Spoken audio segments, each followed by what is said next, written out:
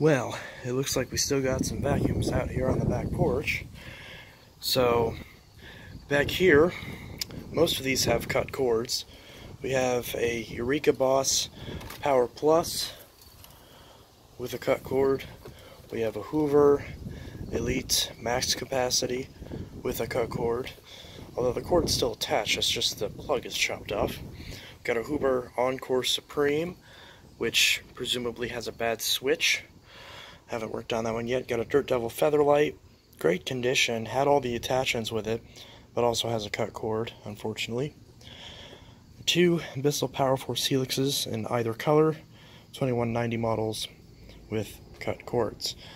We have a Bissell Power Groom Multicyclonic, which does work, and I did refurbish it a while ago, but the motor just runs a bit loud because the bearings are going bad in it. But it is functional. It's also missing the brush roll. So if anyone wants that, I'll be more than happy to sell that, just because I haven't really worked on the motor too much. We have a Hoover Air cordless, which I actually love these things, but this one's missing the battery, it's clogged, and it's missing the brush roll. So, got a Bissell Steam Mop Deluxe, haven't tested that yet. Got a Shark cordless vac, does work pretty well, just missing the bottom battery cover. We have a Hoover wind tunnel of some kind that is, obviously it's the Home Depot edition, and it is missing most of the machine. It does have the cord though, but the power switch is busted, which probably explains why it's half of a vacuum. This is exactly how I got it. Got some various Kirby parts, got a Shark brush roll, a few other parts, Miscellaneous got a box of Kirby stuff, which includes some materials and a VHS tape. So, if anyone's interested in that, let me know, and I may list that for sale. Got two Bissells, got a Powerlifter Swivel Pet, and another Power Force Helix. Both do have cords, but have had the motors get shot in them. Uh, these are ones where kids were spilling stuff on the vacuums, and it was getting inside the motor and killing the motor. This one has a bad motor. This one, I believe, just has a bad switch. We have the Hoover Elite Cyclonic Wind Tunnel Canister, which just is having some issues with the power head, but otherwise works. We've got a Hoover Floor Mate that requires a lower hose. Hoover Soft and Light that also apparently has a bad switch. At some point I'll work on both of those Hoovers because I do want this to work. I've always wanted one of these and it would be nice to get it working. And here we have a another Eureka Power Plus, which does work. It's just in need of a cleaning and it's very gross, so I don't want to leave it inside before I go to fix it. I want it to stay out here since it appears that some animal has defecated onto it, which is not ideal. There's also this random chair here that I got off the side of the road. Same thing with that TV that I believe is broken. There's also some miscellaneous parts in here as well that have just been sitting outside because I don't know where else to put them. So now that we go into the house, we can see the other aspect of my collection. Starting with the laundry room, we can see there's a Shark steam mop here that I'm trying to sell, haven't sold it yet. Um, two machines that were out on the back porch is now in here. Got the Dirt Devil Platinum Force and the Bissell Power Force bagless turbo. So both these do work, just in need of a cleaning. The Bissell um, has a little bit of a motor problem where it sounds a little bit more roarish than they usually do, perhaps due to the amount of dust that has likely gone through the motor. Hopefully a good cleaning of the motor, oiling, and maybe even a polishing of the commutator should hopefully remedy that problem. We have another Hoover a Hoover Wind Tunnel Purely Clean T Series. This is one that I am keeping, which is why I haven't bothered to fix it yet. But it's um, it's one where, or at least I was deciding to keep it before I got the rewinds, the uh, Elite Rewind Solar Styles. But this one does have the headlight, which is making me possibly consider keeping it. The point is, is that just needs a cleaning. Cleaning hasn't been done yet. Dyson DC07 all floors, decent condition. It was just missing the side duct piece. But otherwise, works just fine. Haven't really looked into the clutch too much. The clutch seems okay. It's clearly um, not in the best condition. It could use a replacing, but it does have some life left in it. It's not horribly bad. The brush does still spin correctly without any major issues. We got the Hoover Steam Vac back here. Just haven't worked on it yet. Haven't even tested it yet. It might work just fine, but I'm keeping it. So Hoover Wind Tunnel Supreme, older style with the dirt sensor that's digital.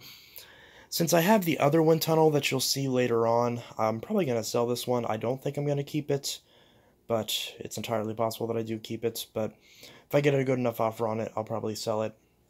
So yeah, we have the Shark Apex Zero M. Uh, or not Zero M. This isn't a Zero M, but it is a duo clean, but it's not a Zero M. Does appear to work, just had a clog in it. Um, needs a little bit of a cleaning, but very minuscule of a cleaning. It's overall in decent shape. But I haven't looked at that in quite a while, so there may be something else wrong with it that I'm not sure of. Dirt Devil Ultra Vision Turbo. Again, works perfectly fine, no issues with it. It doesn't need a new headlight, but obviously that's not, you know, that's not a deal breaker because obviously it works just fine without the headlights. Needs a bit of a cleaning, but otherwise still picks up just fine, sounds fine, nothing really wrong with it. Again, I've been kind of keeping it, but I'm not too attached to it, so I may entertain an offer on that if it's a good enough offer. Um, many of these machines will likely be reviewed before they're sold, so if you would like to buy them, uh, let me know. But once I get beyond, once I get beyond this room, when I get into my actual room, none of those machines are for sale. But the ones that are out here, with some exceptions, are for sale. So, got this Bissell Power Force. This is the one that I fixed that had the bad cord on it. First vacuum, I put a new cord on, and you can see it also has the orange height adjusting mechanism that I put from the previous Power Force Helix that I had in there. And uh, I'm probably gonna, I'm probably, I'm trying to sell this, but not having good luck selling it, so I may just give up and keep it, and just throw it in the back of my car and just have it be a, just a vacuum that I carry around and just use. And if it breaks, who cares? Um, Bissell Clean View Deluxe Rewind. So this is vacuum I got pretty recently. Um, got it for 60 bucks. You can tell it's brand new. Um, but there was no unboxing of it because it was open box. So has all the attachments, although the extension wand and crevice tool aren't the correct ones, but they do fit, kind of. We've got this little Eureka stick vac. Again, not really attached to that. That's trying to be sold. Dyson DC15 all floors. Trying to sell this on OfferUp. Nobody seems to want it, or at least if they do, they want me to just straight up give it to them. And obviously, I'm not doing that because I refurbished this thing and it works perfectly now. So, I'm not gonna. I'm, I'll be entertaining reasonable offers on this. Um, this 13.98, I'm probably gonna keep, but I'm not quite sure. Again, if I get a good enough offer for it, I may. And by good enough, to tell you the truth, if someone pays me more than this thing is worth, then I'll probably sell it. If someone's giving me what it is worth or less, I won't. And I fully realize that's probably not fair, but, you know, I'm not really all that concerned with getting rid of it. I will likely just probably give it to a friend and have it be their vacuum um, instead of one of these newer ones. But um, I don't know. It all depends. There, there, last I checked, there was one person selling refurbished ones of these on eBay, but he was charging sixty dollars for them, plus thirty bucks shipping, and hundred bucks is just not a good deal for these, considering you can get the Sanitaire and Big Green versions of these for around that same price if you look in the right places. We've got this Bissell Powerforce 6579-3 carcass that um, doesn't have a motor or cord or screws in it. It's just a bunch of plastic pieces so if anyone needs parts from one of these, let me know. I may be able to sell a part or two off of it, or probably just most of it. Uh, this Phantom Fury 10 amp, I am selling. I just haven't gotten around to listing, mainly because I haven't yet found a good box for it. Because uh, these Phantoms are shaped really weird, and it's hard to find a good box to pack them in. Again, if anyone knows where I can get good quality boxes to ship vacuums in, you know, stuff like the 15 and like the Fury, they're really hard to ship because they're just so weirdly shaped and bulky. But if anyone knows where I can get boxes for those, then yeah. Then these two machines, I mean, this one I'm kind of selling. I mean, I am selling it, but nobody seems to be interested in it. So, uh, this old school Hoover Runabout from the 80s, it's obviously like an old vintage machine. Works just fine, other than this little outer back being ripped a little bit. But it works, I just haven't gotten around to, well, selling it. This is mine, this isn't going anywhere, but it's just out here because the motor in it's still bad, the 6594. Uh, the blue variant still has a bad motor in it, so you can tell it looks brand new, but it just still has a bad motor in it, so it doesn't run at all. So I tried replacing the switch in it, didn't do anything, still won't run. And of course, this Eureka Quick Up, again, selling that. This Dustbuster appears to need a battery, um, so not much to say about that. And now we go from the dark depths of everything. Go into the living room real quick, and we can see that my two uh, cordless machines, if I can find the stupid switch for this lamp. See over here is the Hoover Linx. Hoover Linx, been using this, absolutely love it, good machine. Um, got it for only 100 bucks at Walmart. Uh, now, that same Walmart is selling these machines for only $64, which is a steal because on Amazon these things are still 200. So it is an absolute steal. These are excellent machines and for that price. If you can somehow find one at that price, definitely jump on it. But Dyson V7 Animal Plus, again, works perfectly. No issues with that. Got the dock right here. No complaints. It works really good. Haven't had to wash the filters yet but I guess I haven't really checked. I don't like how weird that is to pull that out. The filter looks okay. I probably should wash it because I've heard some collectors say that these filters will look clean, but it'll still be really dirty. So maybe I should go ahead and clean that. But it's getting dark. Dark, dark, dark, dark, dark. Let's turn this light on. Oh, also, in this closet, we can see there's the DC-33. So there's a DC33 multi-floor. believe it has a bad clutch, but I'm not quite sure. It may be good. I might. I'm probably going to sell this at some point because I. It's so similar to the 14. I don't really see the point in keeping it too much. It's still a fine machine, but you know, eh, it is what it is. So that's a 33 multi-floor. Does have the attachments. Just not sure if I'm going to bother keeping it. But in the meantime, this is where it sits. So I'm going to end up just letting my dad keep this since he really wants a Dyson but we'll see about that. So, now we go into here. You can see it's stuff I'm working on, because obviously this is where I go to clean everything up. Got a couple Power Force compacts. We have a 2112 and a 1520 that have just been in the process of being refurbished. You see one of them's torn apart. This is one that didn't have a cord on it. So I'm going to put a cord on that at some point honestly not sure if I should even bother, if I should just chuck the thing. But um, if anyone needs parts from one of these, let me know. And got a Power Force Helix. This one, uh, well, it is uh, one that I had fixed, and I just need to give it a little bit of a wipe down, and it's good to go. I already have it listed for only 20 bucks, so. Um, but that's locally. If you want me to ship it to you, it'll cost more, obviously. But, um, yeah, people don't seem to be as interested in these older Helixes as I thought, but still got that. I just already sold the other one, and I also already sold the Helix Turbo. So anything you don't see in this video, I've already sold, if I don't mention it at least. So yeah, now that we're out of that, we can go into my room and see the vacuums that await. So my room's still a little bit cluttered, as you can see. Um, we have this Dirt Devil that I still haven't opened up yet. Got the Shark Apex.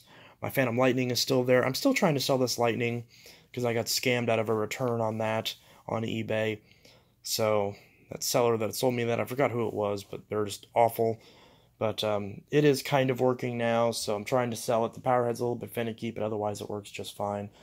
So I'm trying to sell it. I've had multiple people say they're going to buy it and then back out, which is really, really uh, infuriating and incredibly disrespectful. But whatever. So now we can see got a Bissell 3 in 1 over here. Power Force Bagless 6583, CleanView 2 Plus, Dirt Devil MVP. Um, this MVP and the wind tunnel back there need to be cleaned, but they're not too bad, which is why they're already here. Got the Power Track Revolution, got that Recall Dirt Devil. Um, here's that Bissell 3-in-1. You can tell I'm kind of starting to step over stuff. This is a Hoover that I was fixing for a couple friends. I just brought it in here. Just needs just needs a belt and a cleaning. Shark Navigator lift away that the handle broke on. I do not recommend Crucial Vacuum at all because I bought a brand new handle for another lift away I was selling, and I had to can I had to rip off the handle off this one in order to make the customer happy because the one the brand new one that I installed on her vacuum broke, and I'm extremely infuriated with Crucial Vacuum because I had to cannibalize a shark that otherwise had all the original parts, and I was very happy to have one that had all the original parts and didn't have any aftermarket parts. And now uh, Shark wants to charge me $50 for a replacement handle, which is infuriating because, well, that's how much these things go for, uh, at least in the used market. So I don't know what I'm going to do about that. Vacuum works fine. Um, I've had some negative opinions on this lift away and a lot of these shark vacuums in the past. But as time goes on, I've come to like these vacuums more and more, especially this particular one. This particular one, I think I've made two different reviews on these that were both relatively negative in tone. But I've kind of changed on these. I do really like these machines now. They're not perfect, but neither is anything these days. And frankly, for the machine for the money, I should say, these machines are really excellent for the price.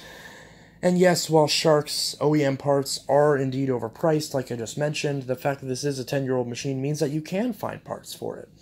So, the previous complaint, at least when it comes to this machine in particular, I don't know about their new Vertex and newer machines they just released, but at least for older platforms like this, the complaint about there not being available parts is kind of a moot point because there are available parts, uh, both from Shark directly and from third parties. So, I'm happy that Shark has gotten not nearly as bad as they used to be with parts availability, which means that the number one complaint about this machine has pretty much been resolved.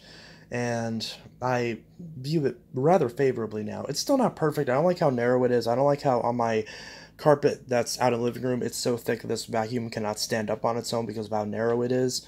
I don't like that. But besides that, most people aren't going to have those issues. Most people don't have carpet that's as fluffy as mine is, so that's probably not an issue. But um, yeah, my view on these has really changed, and perhaps I should do an updated review on them. And I'd also like to do a review of the new Shark Vertex, but I don't have one, so I can't exactly review it just yet.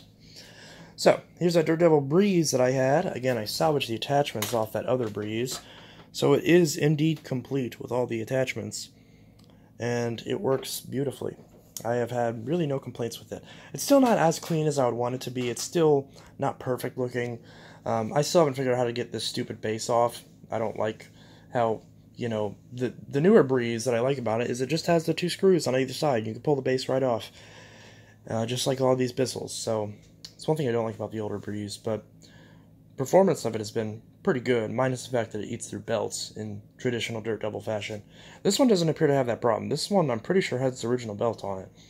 Um, or at the very least, it's the belt does work good. So, And this one also doesn't have any of the attachments other than the crevice tool. Here's the 6583-F. There's my Silvaglide MVP, which I still have not worked on. It still has no belt on it, and um, it's still not in the best condition, but it is there, I just haven't worked on it yet. Here we have my Phantom Twister, which has been working pretty decently. I used it a little bit, and uh, it's very, very nice to use. And that little filter issue with it is unfortunate because it is a decent machine. Is it worthy of the Phantom name? Eh. Some people would argue that the original Phantoms weren't all that great to begin with, and I know us Phantom collectors probably don't see it that way, but objectively speaking, I think that these newer Phantoms don't deserve a lot of the hate that they get. Sure, they're not nearly as good as the Iona Phantoms, but, you know, they're basically, you know, the predecessors to the Sharks, and the Sharks are decent machines, so, you know, I kind of did a little, you know, I, I taped the filter cover on with some packing tape, and it's been working just fine. Here's my powerlifter bag pet. Nothing much to say about that. Still been working just fine. Also, my Power Force Turbo Rewind pet. Also been working fine. So here's the new Dirt Devil Breeze. Haven't even used it yet. So, you can see that. Obviously, um, I bought a handle on eBay for it, and I went to return the handle, and eBay charged me almost $40 for the return, which was not it, it did not say that whenever I went to do the return, which is annoying because uh, the handle was only $20. So I literally paid like $15 to extra to return the handle, meaning that I lost an extra $15 that I wouldn't have lost if I had just bought the handle and threw the old one in the trash. So that's frustrating. But um, nevertheless, haven't used this yet at all. And, you know, um, not much to say about that. A lot of people don't like that compared to the older Breeze. I think it's okay, at least based off the ones that I've used in the past. And of course, we have the Dirt Devil Total Pet. That's the one that got recalled. I still have it. Don't know what to do with it. And, uh, yeah. Here's a Power Force Helix Turbo Rewind.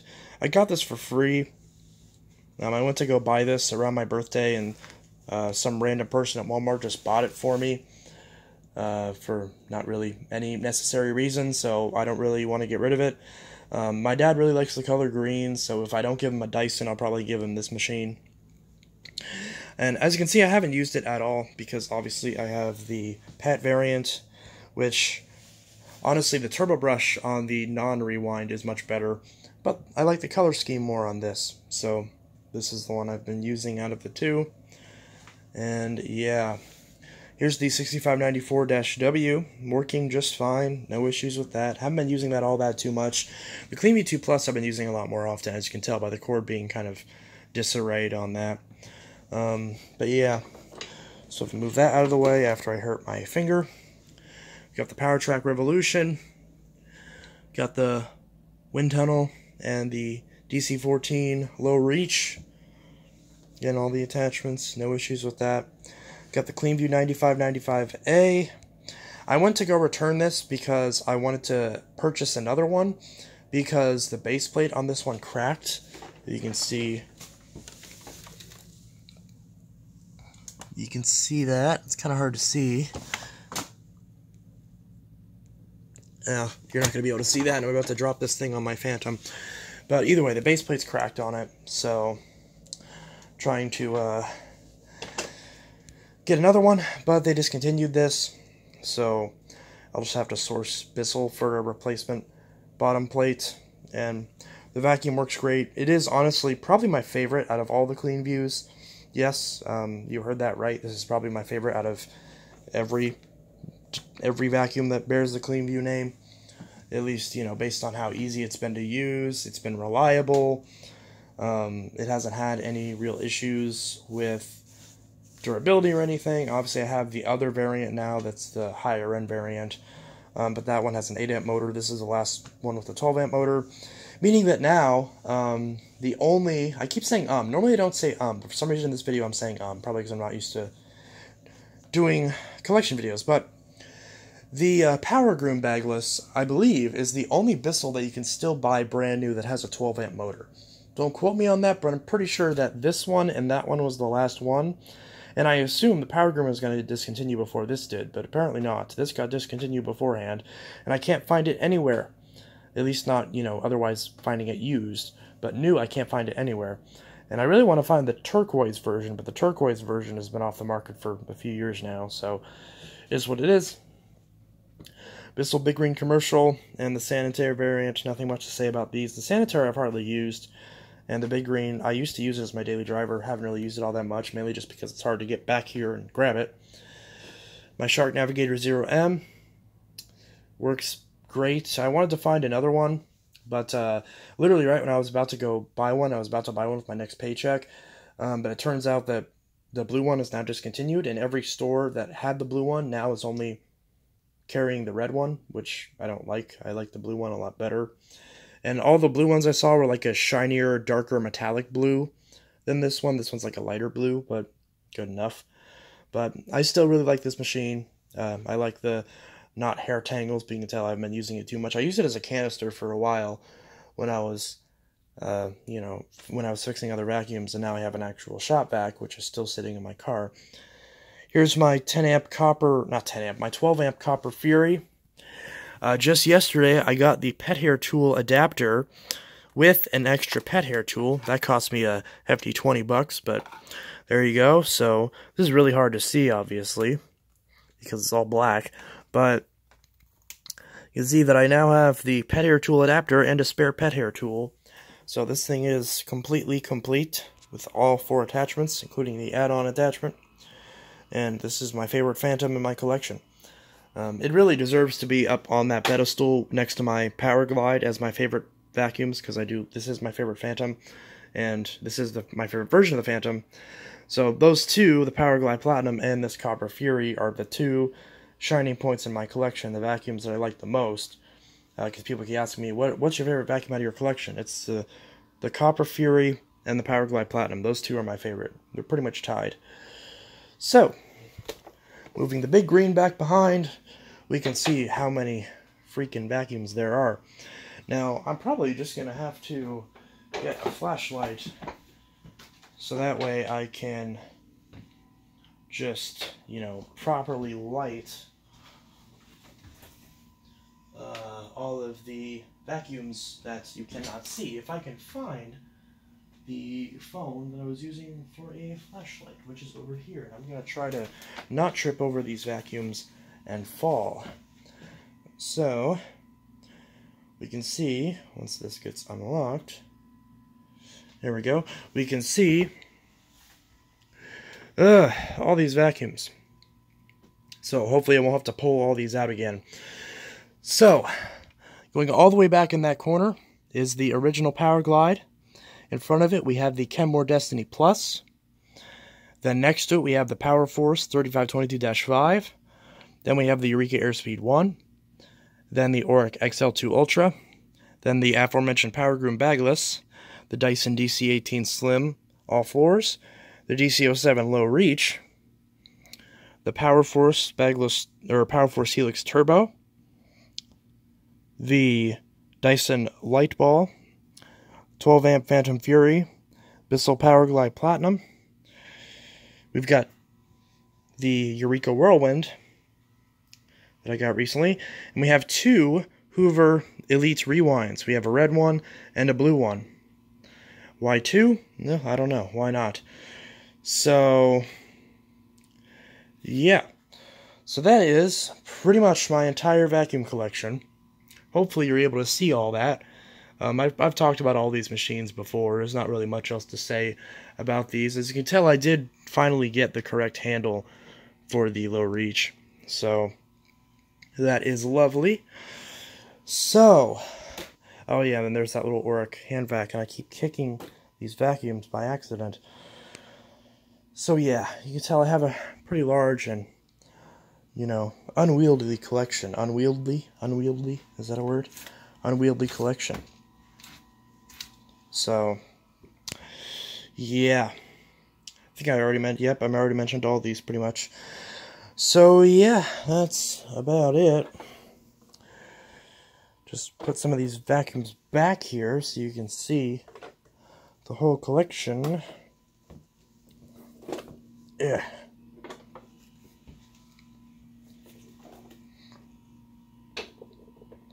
And again, I think I showed off that wind tunnel, didn't I? Maybe I'll pull out the flashlight again so you can see that. There's the wind tunnel, Power Track Revolution, blah, blah, blah. So many other vacuums. Just vacuums, vacuums, and more vacuums. So many vacuums. Too many vacuums, in fact. But, um, yeah, lots of vacuums. So, anyways, this goes back here. And uh, if anyone has any requests for reviews of any of these, uh, it'll be a pain to get the ones that are out of the back. I know someone requested the Oreck, but like, come on, that's just too much. But um, some of these I will get reviewed, and some of these I will eventually get rid of. But not much to say about that for now. But uh, yeah. So that is my official vacuum collection. Again, these are all the ones that I'm not selling, um, as well as that 6594 and a couple others that I that I already mentioned.